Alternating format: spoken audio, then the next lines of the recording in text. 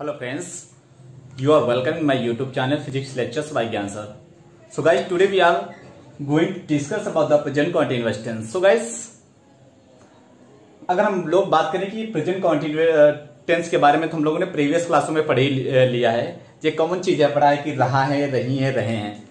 But थोड़ा advance में देखता है देखना है हम लोगों की, क्योंकि ये रहा है, रही थी ये तो हम लोगों ने रट्टाफिकेशन बहुत पहले से याद कर रखा है। और हमारा अब थोड़ा अलग से सीखना हमें कि जैसे कोई कंपटीशन एग्ज़ाम में हमारा आ जाता है तो क्वेश्चन तो हम लोग वहाँ पे रही रहा रही है, हिंदी में नहीं मिल पाता है तो कोई स्टोरी में हम लोग रह जाते हैं। सो ये अब हमको देखना है कि इसमें जो है एक्शन वर्ब्स अगर एक्शन सेंटेंस आते हैं एक्शन जो रूल्स आते हैं वो कैसे बनाए जाते हैं सो आज हम लोग डिस्कस करने वाले गाइस सो गाइस आइए देखते हैं। जैसे कोई सेंटेंस आता है, राम सोया है।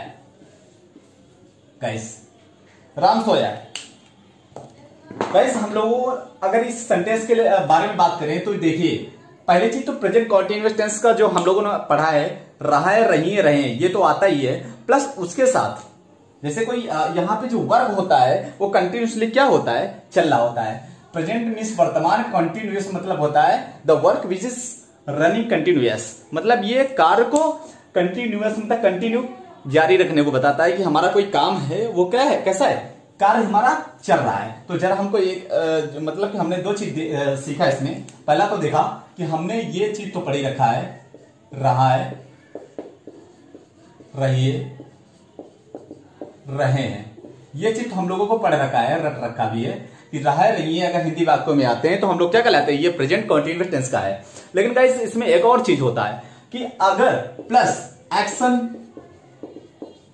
एक्शन बॉक्स कैसे आती है? एक्शन वर्क कैसे होता है? एक्शन बॉक्स मतलब कहते हैं कि वह सो रहा है।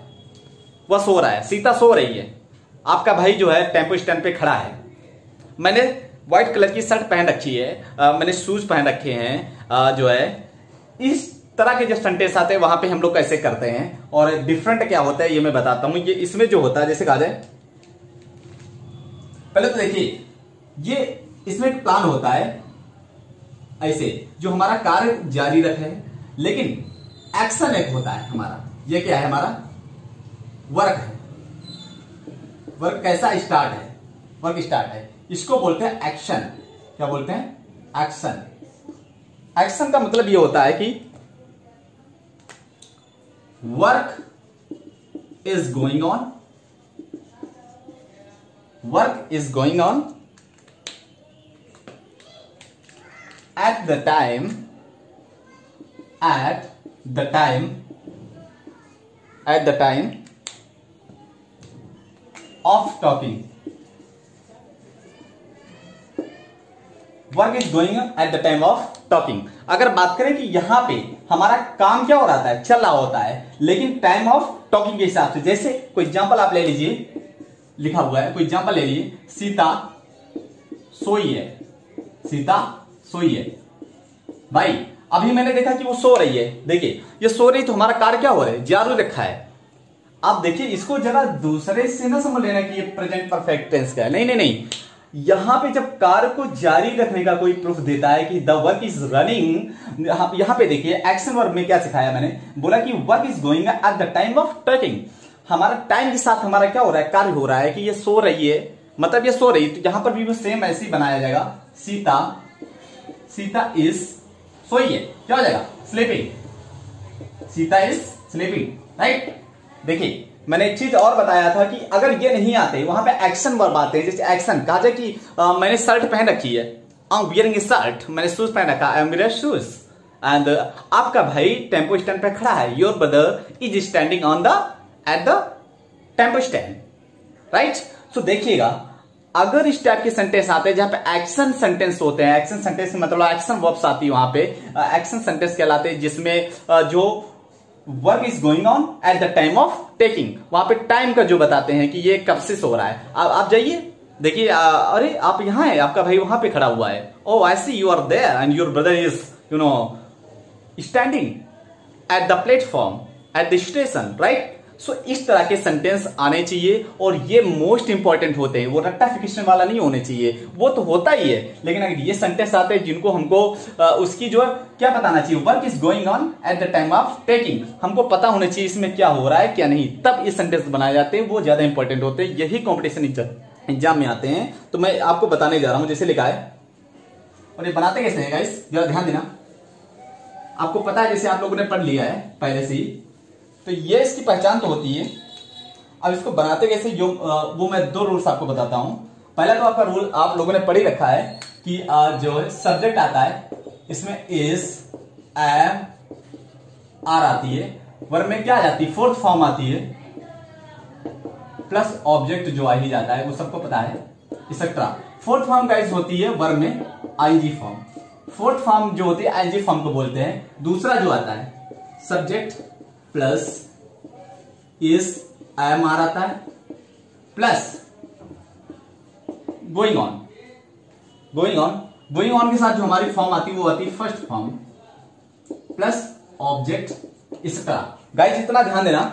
अब इन दोनों को जो है, हमारा ये तो हम लोगों ने पढ़ी रखा है कि अगर वर में जो है आईएनजी आती है तो हमारा कंटिन्यूस हो जाता है, और राय रैया जी, तब भी कॉन्टिन्यूस हो जाता है। लेकिन जैसे लिखा है लिखा है कि मैं शादी मेरा भाई, या मेरी बहन जो है या मेरा दोस्त वट एवर आप यू कैन टेक एग्ज़ाम्पल मेरा दोस्त जो है, शादी करने जा रहा है। My brother is going on to get the marriage my brother is going on मतलब कि ये फ्यूचर को शो करता है। कार तो जो है फ्यूचर के लिए शो कर रहा है, क्योंकि अभी किया नहीं है, करने जा रहा है। ये फ्यूचर को तो बताता है, लेकिन जो सेंटेंस होता क्या है एक्शन क्या हो रहा है, कि ये काम करने जा रहा था कंटिन्यूअस है हमारा वर्क तो वहाँ पे कंटिन्यूस मैंने बताया था work is going going at the time taking तो वहाँ पे जो उसकी सहायता से हमारा जो कार्य होगा, वो क्या होगा? प्रेजेंट कॉन्टिन्यूस में जाएगा। तो हम जैसे कोई एग्ज़ाम्पल ले लीजिए आप। एग्ज़ाम्पल लिखा हुआ है। दो एग्ज़ाम्पल में लिखता हूँ, जरा ध्यान देना। लिखा हुआ है। वह नदी किनारे बैठा है। आप देखिए, वह नदी किनारे बैठा है। यह सेंटेंस जरा ध्यान देना गाइस वह नदी किनारे बैठा है। आप, आपने देखा वो नदी किनारे बैठा है? देखिए भाई, यहाँ पे कार्य जारी है। वह नदी किनारे बैठा है भाई, बैठा तब भी तो आप जाइए, अभी भी बैठा होगा। अरे, आप यहाँ है? आप देखिए, आपका भाई नदी किनारे बैठा हुआ है। तो कार्य यहाँ पे क्या है? जारी है। तो यहाँ पर भी सेम होगा। क्या होगा? He is sitting he is sitting.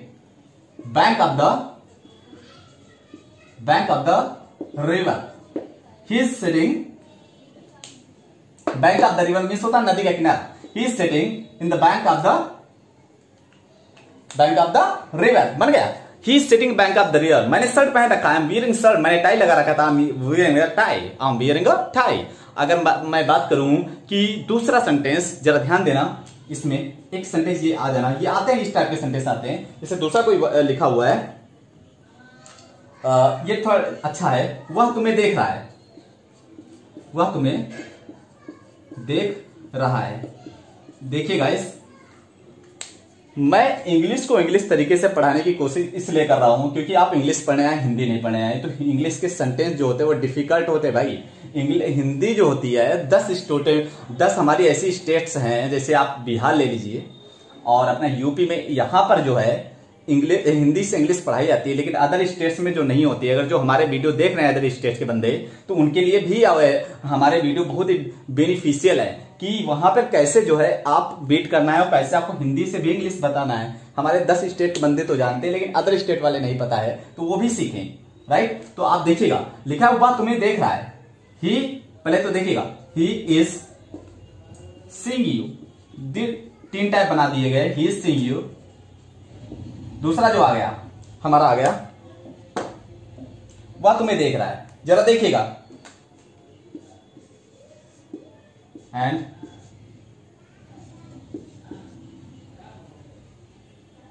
he is watching you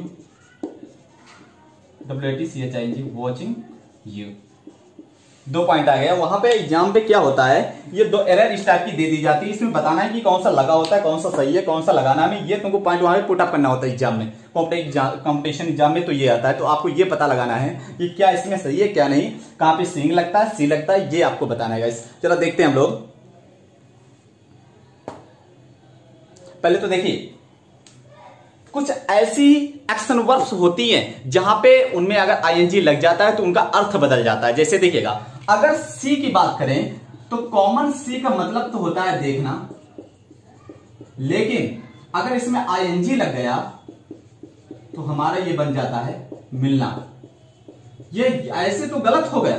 I am watching you ये सही है ही इज़ वॉचिंग यू देख रहा है। वॉचिंग वहाँ पे लगता है जैसे कोई चीज़ टेलीविज़न आप देखते हैं तो वहाँ पे होना चाहिए कुछ उसे मोटिवेट हो और कुछ हमको प्रेरित करते हो या कुछ हमको इंटरेस्ट मिलता हो। something we are getting from this side then you can use of the watching what's your watch words on that sentence right? But there is we look uh, i'm looking this uh, he is seeing you. There is wrong words because if you are using the ing verbs in any sentence that it will, it will be convert it will be change of meaning. Like seeing seeing means that hota milna. But if you talk about the see see means hota dekhna. So this is wrong. It will be correct right?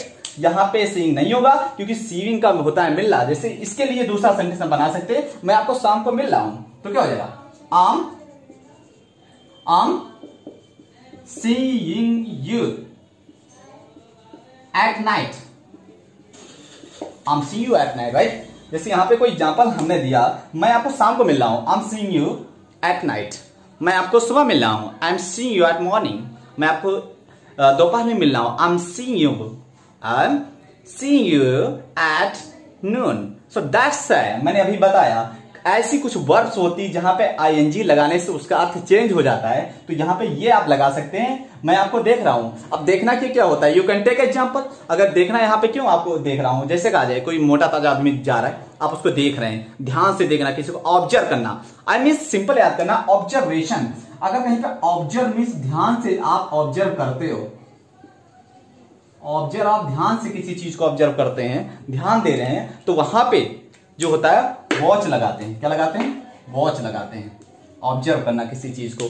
Gate करना। If you are getting something from this side then you have to use a watching right you can take example your after your door somebody is sitting. Like you, you uh, आप अपने घर के बारे क्या होता है? जैसे चौकीदार होता है इसीलिए उसको जो है ऑब्ज़र्व करता है। जो कोई जा रहा है तो भाई उसको देखता है ध्यान से। इसीलिए जो है वॉचमैन बनाया गया है। वॉच वर्ड इसीलिए बनाया गया है कि कोई वस्तु है कोई बंदा है जो आपके घर की रखवाली करता है वो उसको ऑब्ज़र्व करता है कौन आता है कौन जा रहा है। इसीलिए उसको क्या बोला गया है? वो, वो जो बोला गया है वॉचमैन बोला गया है राइट तो यहाँ पे क्या हो जाएगा? वॉचिंग हो जाएगा। बट दैट्स रॉन्ग ये सेंटेंस नहीं होगा। आपको मैं दोपहर या सुबह मिल रहा हूँ। सींग मिस होता मिलना गाइस देखिए नेक्स्ट आ गया? अब एक सिंपल मैं इसके बता के बता रहा हूँ। गाइस इतना नोट कर लेना। ये आपके लिए कॉम्पिटिशन एग्ज़ाम में आते हैं ऐसे क्वेश्चन गाइस ध्यान देना। एक्शन वर्ब के बारे में आप लोग पढ़े रहे हैं, वो सिंपल आप लोग जो पढ़ते थे, वो तो आता ही है, ये ज़्यादा आते हैं। दूसरा ऐसे सेंटेंस क्यों लिखा हुआ है? देखिए।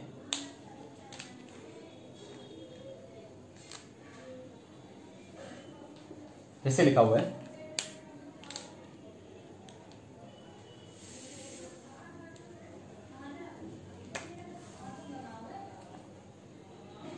मेरा दोस्त देखिएगा मेरा दोस्त दिन प्रतिदिन दिन प्रतिदिन मोटा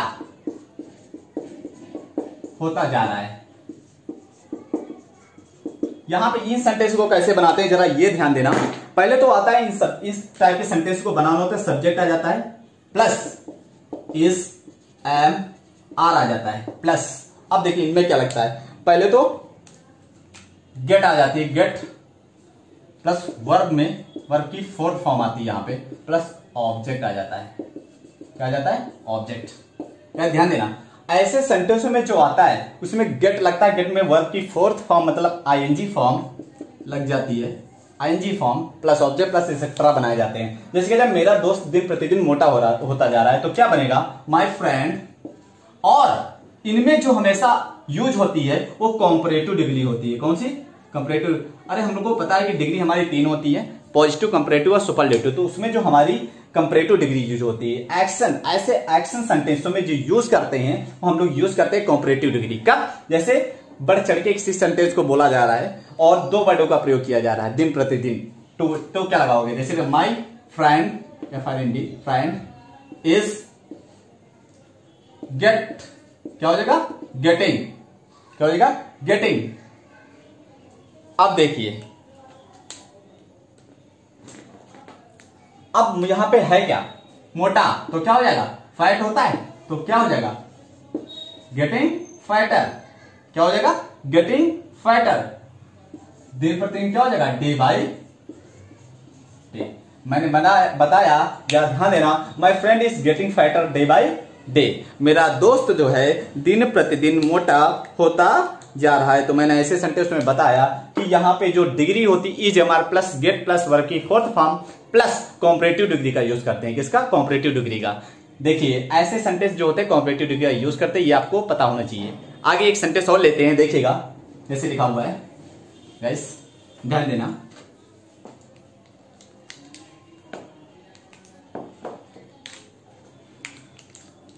दूसरा सेंटेंस लिखा हुआ है। हम लोग जैसे बोलते हैं, मैं आपको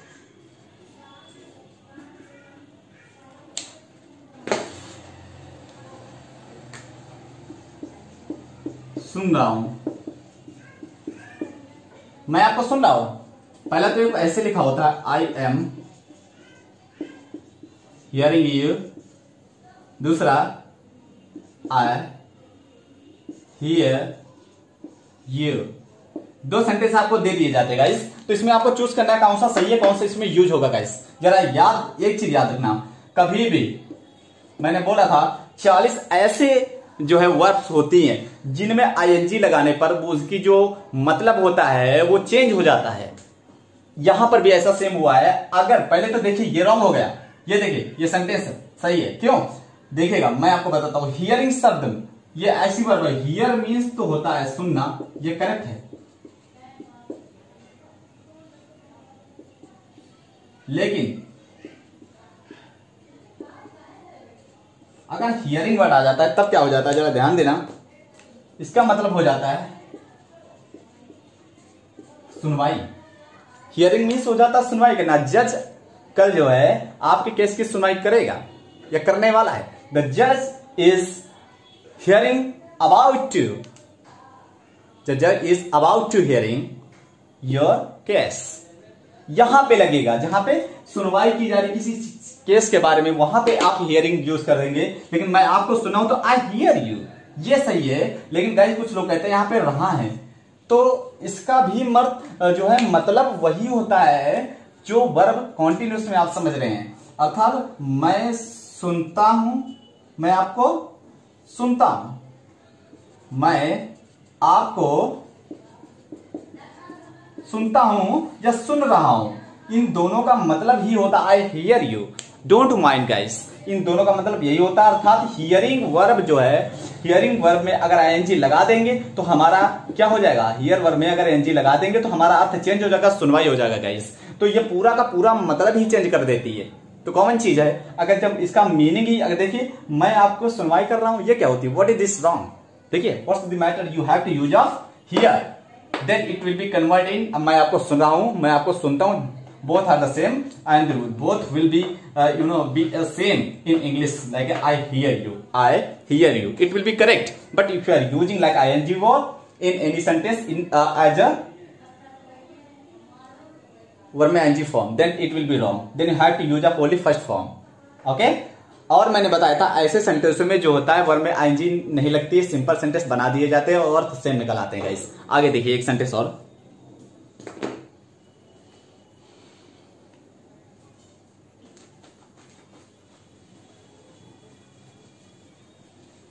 गाइस ये बात आ रही है आप लोगों को समझ में? सिंपल तो आप लोगों ने पढ़ाई होगा कि मैं जा रहा हूँ मैं दो आ, मैं जा रहा हूँ आम गोइंग मैं कानपुर जा रहा हूँ गोइंग टू कानपुर. मैं पढ़ाई कर रहा हूँ आम स्टडिंग ओके मैं रो रहा हूँ आम वीपिंग मैं सो रहा हूँ आम स्लीपिंग राइट जैसे दूसरा है कि वह कंप्यूटर चला रहा है.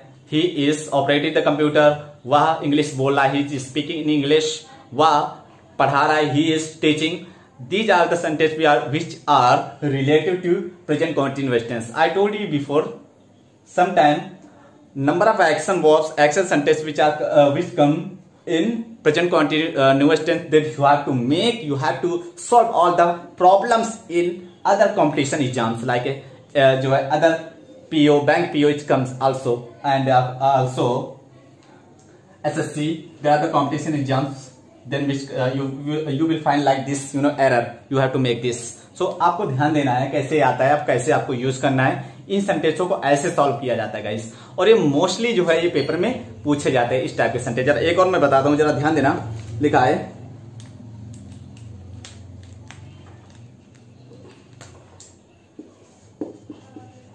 तुम बैठे हो. दूसरा इसे लिखा है तुम बैठे हो? तुम या तुम या वह सोया है। मैं दोबारा रिपीट कर रहा हूँ, जरा एक बार इस लास्ट टाइम जरा दिया ध्यान दीजिए ना गाइस तुम बैठे हो। यहाँ पर भी देखिए, मैंने बोला था कि वहाँ पर एक्शन वर्क अर्थात एक्शन होना चाहिए, कार्य को जारी रखने का, जो continuous of work this is going to be then you have to use of this मैंने बोला था कि अगर किसी वाक्य में जो है कार को जारी रखने को बता रहा है तो वहाँ पर भी जो है ज़रूरी नहीं कि रहा है नहीं आता हो। लेकिन वो कार को जो है कंटिन्यूस एक्शन एक्शन हो रहा है एक्शन मिस चल रहा है कार्य then if you find the action in any sentence then you have to use of I N G and also you have to use of is am are with them and is always used to singular number i am always used i, and also r will be used in plural numbers like a we you they right? तो तुम बैठे हो कार्य यहाँ पे क्या है? बैठे हैं। तो क्या हो जाएगा? यू आर सिटिंग वह सोया है। क्या हो जाएगा? ही इज़ स्लीपिंग गाइस ध्यान देना।